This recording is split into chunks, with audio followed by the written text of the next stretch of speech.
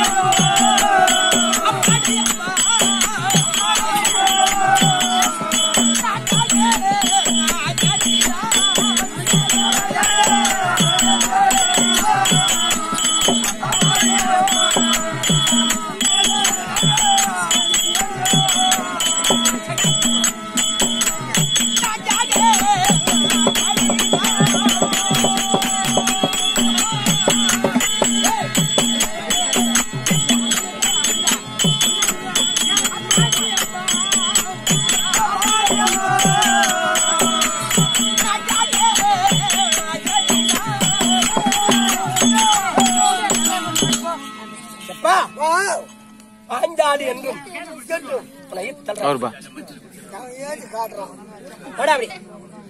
அவன் நிமித்தி காட்டுறான். பாஞ்சாலி என்றும் யாகஜேனி என்றும் திரௌபதா என்றும் எனக்கு மூன்று நாமதியாகும் பொதுவா பாஞ்சாலின்னு ஒருத்த யாரு என் பேரை வச்சிருக்கிறாங்களோ அவங்களுக்கு நான் பட்ட கஷ்டம் உண்டுப்பா. நான் என்ன கஷ்டப்பட்டனோ அது அவங்களுக்கும் உண்டு ஆமா. நான் எப்படி பிறந்தேன் என்றால்? ஏற்கனவே காலத்தில் என் தந்தையாகிய பாஞ்சாலம் என்று துரோணாச்சாரியாரும் அக்னி கோத்திர மகாமுனிவரிடத்திலே வித்தையானது பயின்று கொண்டு வந்தார். அப்படி வருகிற நேரத்திலே என் தந்தைக்கு நன்கர வித்தை எல்லாம் யாரவில்லை உடனே துரோணாச்சாரியாரை பார்த்து ஏ துரோணாச்சாரியாரே நீங்கள் கற்றுக்கொண்ட வித்தை எல்லாம் எனக்கு நன்கர பயின்று கொடுத்தார். நான் அரசாலும் பொழுது என் நாட்டிலே பாதி நாடு தருகிறேன். பாதி நாடு தருகிறேன். அப்படி என்றார் அதன் பிரகாரமாக எப்பா எனக்கு நாடு வேண்டாம். நான் கேட்கும் பொழுது எனக்கு உதவி செய்தால் போதும். நீ நண்பனாக இருக்கிறாய். அப்படி என்று இவர் கத்துக்கொண்ட வித்தை எல்லாம் என் தந்தைக்கு நன்கர பயின்று கொடுத்தார். ஆமா. இப்படி பயின்று கொடுத்து வெகு நாள் சென்று துரோணாச்சாரியாருக்கு அஸ்வத்தாமா என்று ஒரு குழந்தை பிறந்தது. அது குடல் குதிரை முகம் படைத்த குழந்தை. இந்த குழந்தைக்கு பால் கொடுக்கவன குட்டி. கம்மல் இருக்கணும். டேய் டேய் டேய். பேசவே கூடாது. மூச்சே பேசக்கூடாது நீங்க இதற்கு பால் கொடுக்க வேண்டும். நம் தம் அதாவது நமக்கு நண்பனாகிய பாஞ்சாலிடத்திலே சென்று ஒரு பசுமாடு வாங்கி வரலாம். அப்படி என்று என் தந்தையை நோக்கி துரோணாச்சாரியார் வர. பார்த்தார் துரோணாச்சாரியார். பாஞ்சாலம் என்ன? எனக்கு ஒரு பசுமாடு கொடுப்பா அப்படி என்றார். செல்வ செருக்கால் என் தந்தையானவர். அதே அந்த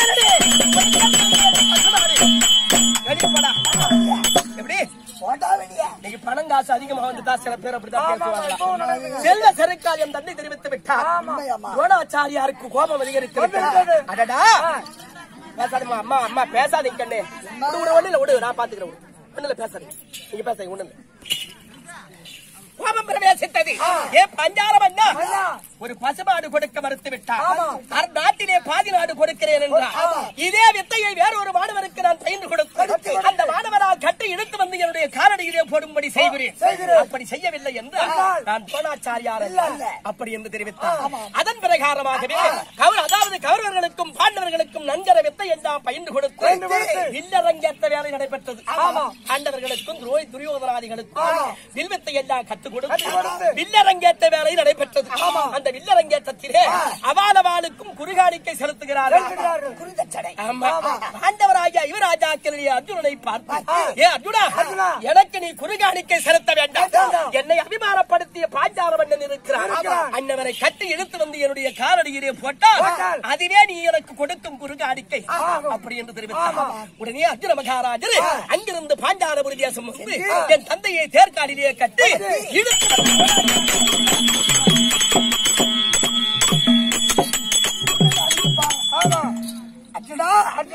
எனக்கு நீ குறுகாடிக்க செலுத்த வேண்டுமாடா அதோ மன்னனை இழுத்து வந்து கலடி போட்டா அதுவே இழுத்து வந்து துரோணாச்சாரியார் முன்னால் நிறுத்திய உடனே என் தந்தையாகிய பாஞ்சால மன்னரை துரோணாச்சாரியார் ஒரு அரசன் என்று பாராமல் அவருடைய பூணலை வெடுக்கென்று அறுத்து துரோணாச்சாரியாரே?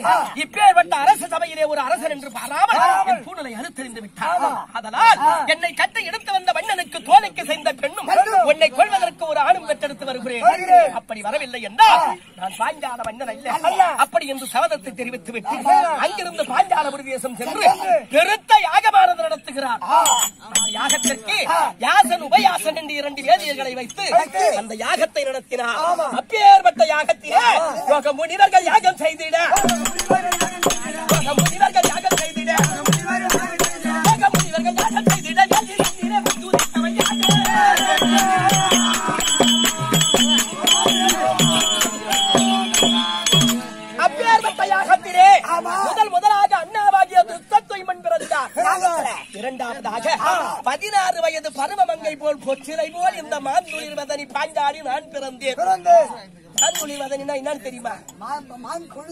மாமரத்துல மான் கொழுந்து இருந்தா காலையில எந்திரிச்சா? இந்த சூரியனுடைய வெளிச்சம் பட்டா எவ்வளவு தகத்த அப்படிப்பட்ட மாந்துளிர் வதனி என்று பதினாறு வயது பருவமங்கை போல் நான் பிறந்தேன். மூன்றாவதாக என்னுடனே இருநூத்தி பத்தடி உயரம் கொண்ட அனுமந்தாரா என்ற மூவருமாக நானொரு மேனியும் பொழுதொரு வண்ணமாக வளர்ந்து மங்கை பருவம் அடைந்தேன் ஆனால் சொல்லிலே விஷம் கொண்ட துரியோதனன் செய்த சூதுவன் ஜெகத்தினார் பாண்டவராஜ் ஐவராஜாக்களை அரக்குமாறு யாரது ஏற்படுத்தி அதிலே அவர்களை நித்திரை செய்ய திட்டமிட்டு நடுஜாம வேலையில் தீயை வைத்து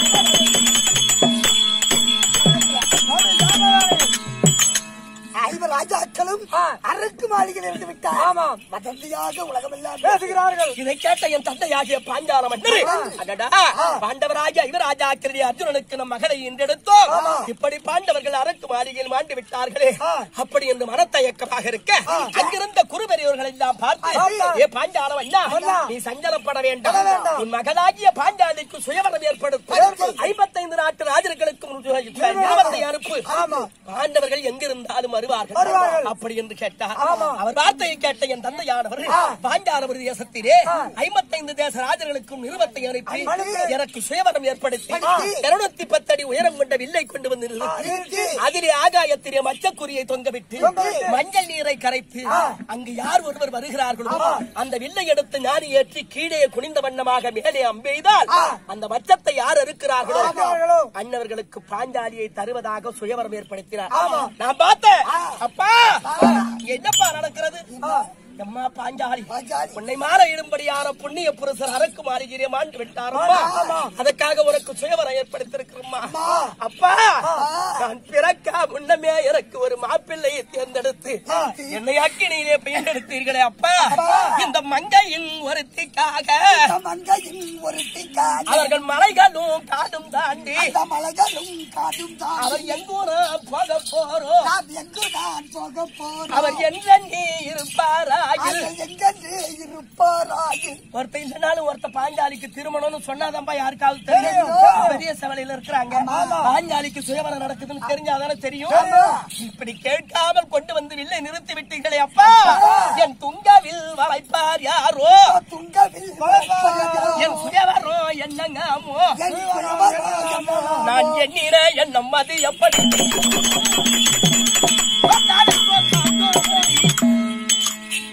அப்பா! அப்பா! கேட்காமல் கொண்டு வந்து வில்ல நிறுத்தி விட்டீர்களே அப்பா! அப்பா! அப்படி என்று கடதுங்க நீ பார்த்தாரு எங்க அப்பா. அம்மா! நீ அழாதம்மா. அழாத. பாண்டவர்கள் எங்க இருந்தாலும் வருவார். நீ கவலைப்படாதம்மா அப்படின்னு அப்பா சொல்றாரு. அப்பா! அவர் நாட்டினில் இருப்பாரா? நமது கல்யாண சேவை. ஆனந்தேவி அவர்கள் கேட்டதோர் மாத்திரத்தில். கட்டதோர் மாத்திரத்தில். அந்த கெம்பீரர் வருவார் என்று. நாட்டுல இருந்தாதாப்பா ஒருத்தன் இல்லைனாலும் ஒருத்தன் சொல்லுவாங்க. நாராயணா கல்யாணம் நடக்குது போயிட்டு வாப்பான்னு சொல்லுவாங்க. இந்த பங்காளிகளை செய்த கொடுமையினாலே. அவர் ஐவர்களும் காட்டினில் இருப்பாராயில் என் காரியோ என்னங்காமோ என் காரியோ என்னலாமோ அந்த தாசிகர் வராது விட்டால் தையலா இல்லைனாலும் ஒருத்தர் சொன்னதம்பா தெரியும். அப்படி என்று கண்ணீர் புகை சிந்தி அழுதேன். அப்பா அழாதம்மன்னு ஆறுதல் சொல்றார்.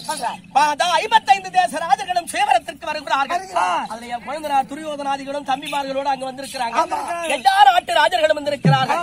பாஞ்சாலி எப்படி ஆகிலும் திருமணம் செய்ய வேண்டும் என்று எண்ணத்தோடு வந்தவர்கள் பல பேர். பல பேர். என் வில்லை எடுத்து நான் ஏற்றி கீழே குனிந்த வண்ணமாக அம்பை இது மச்சத்தை அறுக்க வேண்டும்.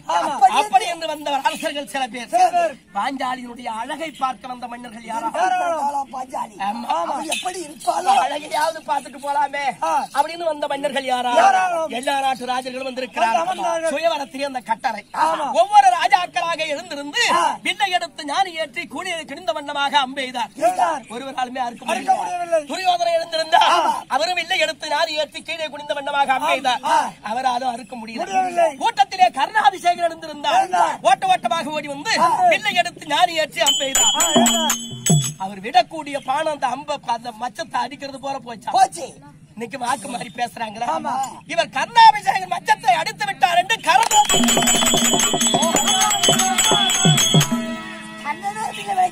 அப்படின்னுட்டாரு நான் பார்த்தேன். ஆண்களிலே அழகு அர்ஜுனனை தவிர வேற ஒரு ஆடவர் இல்லை என்று அப்பா சொன்னாரு. இன்னைக்கு கர்ணாபிஷேகன் மச்சத்தை அடித்து விட்டார் என்று கரதோஷம் செய்கிறார்களே. அப்படி என்று கூட்டத்திலே இருந்த கர்ணாபிஷேகனை அப்புறமாக எட்டி பார்த்த பார்த்து. அதுதான் எங்க அண்ணன் கோபாலக்கண்ணன் சொன்னார்? எம்மா பாஞ்சாலி. அண்ணா அண்ணா பேசாங்க ஒண்ணு இல்ல கொடுங்க நான் சொல்லிக்கிறேன் உனக்கு பேசாதீங்க. கண்ணே கண்ணே குட்டி பாட்டுதானே கிடக்கிறான் ஒண்ணு இல்ல உட்காருங்க அம்மா பாஞ்சாலி. நீ மனச்சோரம் போய் விட்டாய் அம்மா மனச்சோரம் போய்விட்டாய். அருந்தங்கனி பொருந்தும் சரித்திரத்துல இதை சொல்றாரு ஆ. அம்மா அம்மா. மனச்சோரம் போய் விட்டாய் போய்விட்டாய், அண்ணா. உங்களை போல் ஆண்கள் இருக்கிற அளவிற்கு இந்த பெண்களை பார்த்து பதிவிரது என்று சொல்வதற்கு நியாயம் கிடையாது. அப்படி என்று தெரிவித்து விட்டேன் அவராலும் அறுக்க முடியவில்லை. அப்பதான் கூட்டத்திலே பாண்டவராகிய ஐவராஜாக்களும் கிழா பிராமணர்களாக உருவத்தை மாற்றி.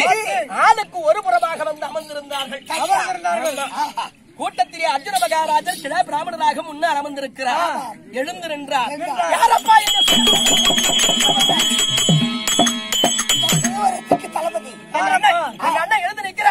எப்பா உன் தங்கையை திருமணம் செய்யக்கூடியவர் எக்குலத்தோராக இருந்தாலும் சரியா? அல்லது சத்திரியனாகத்தான் இருக்க வேண்டும். எங்க அண்ணன் சொல்றார். எம் மதமும் எனக்கு சம்மதமே எக்குலத்தோராக இருந்தாலும் சரி. யார் ஒருவர் கீழே குனிந்த வண்ணமாக மச்சத்தை அறுக்கிறார்கள் அன்னவர்களுக்கு பாஞ்சாலியை தருகிறேன். சொன்னதுதான். இதே பிராமணராக அர்ஜுன மகாராஜா எழுந்திருந்து அவர் வாழையாதையில்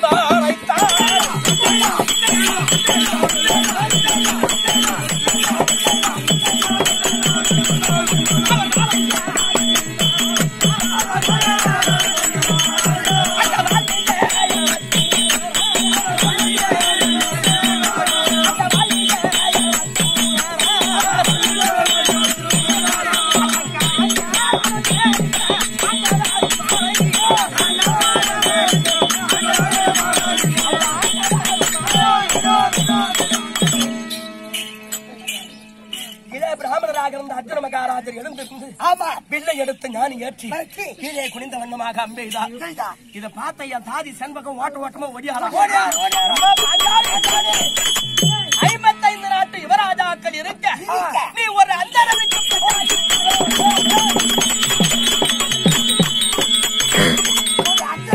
நீ ஒரு அந்தரருக்கு பெண்ணாகி விட்டாய் அம்மா அப்படின்னாங்க. அஞ்சு பஞ்சு போதுமா அஞ்சு விதமா ஓடிக்கிட்டு இருக்கேன். அடி அந்தாளர் ஒருவர் வந்து அவர் எந்த ஐயா என் வில் வளைத்தார். அவர் எந்த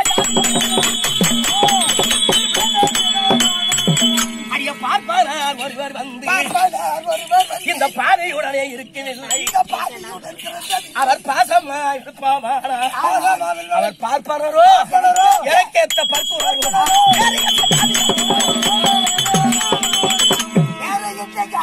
அப்படி என்று கண்ணீர் புகை சென்று அழுதேன். பிராமணராக இருந்த அர்ஜுன மகாராஜர் ஓடி வந்து அப்படியே கரம் பிடித்து தூக்கி தேர்தட்டிலே அமர வைத்தார். அங்கிருந்து அத்தையாகிய குந்தி அமரத்திலே அழைத்து சென்றார். சென்றார். வரும்போதே எங்க அத்தை குந்தமாதேவிய பாஞ்சாலபுரி தேசத்துல ஒரு குயவர் வீட்டுல அடைக்கலமா விட்டுட்டு வந்துட்டாங்க ஏன்னா அவங்க அறுத்து விட்டு வராங்க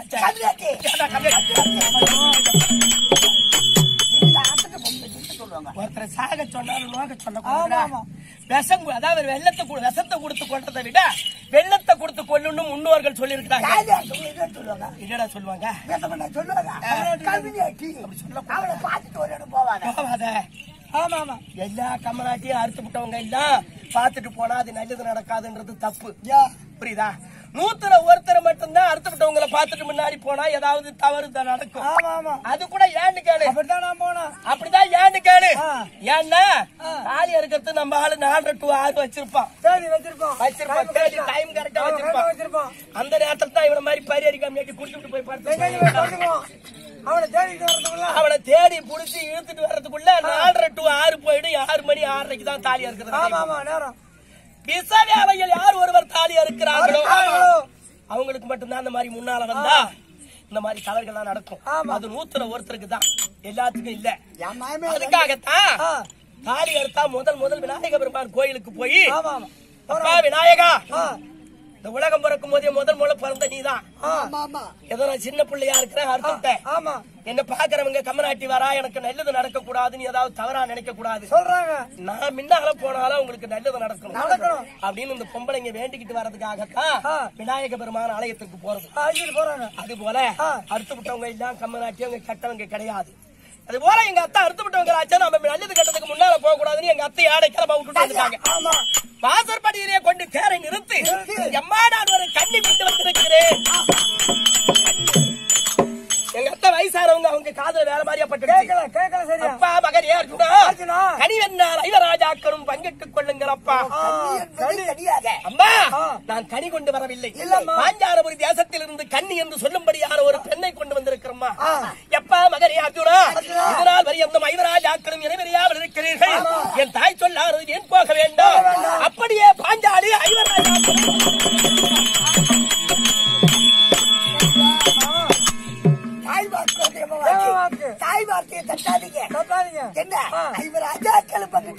அவங்க ஒரு சொல்றாங்க அப்படி என்றார் ஆமா. அத்தையின் வார்த்தையை தட்டாமல். ஐவராஜாக்களுக்கும் பாரியாராகிறேன் என்று. ஒரு பொண்ணுக்கு எத்தனை நாள் கல்யாணம். எனக்கு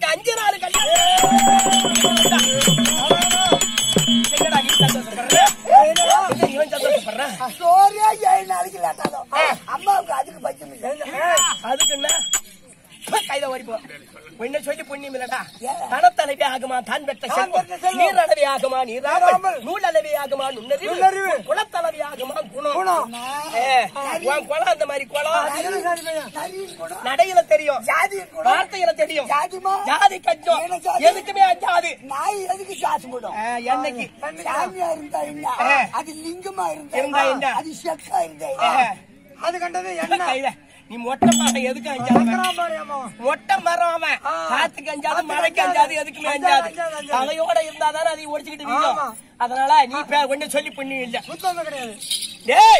முதல் நாள் திருமணம்.